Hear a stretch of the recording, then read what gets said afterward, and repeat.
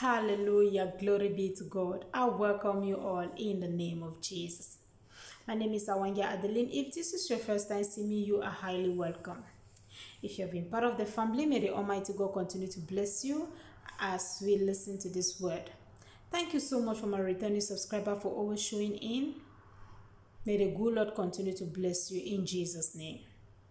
God says they left you because they thought you will not make it in life.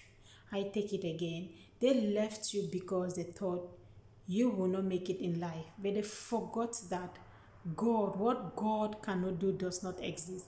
God has just turned your life around. Now, these people want to mingle with you because they see your life has not been the way they thought it was supposed to be. So, God is always with you. Father, in the name of Jesus, I pray, O King of Glory, for those that are rejecting you because they thought you cannot make it. They forgot that God is up there doing what He is doing. I pray that, O King of Glory, may our dreams come always come true in Jesus' name. Amen. Now may the good Lord keep you. May He cause His face to shine on you. May He give you your heart desire in Jesus' name. Amen.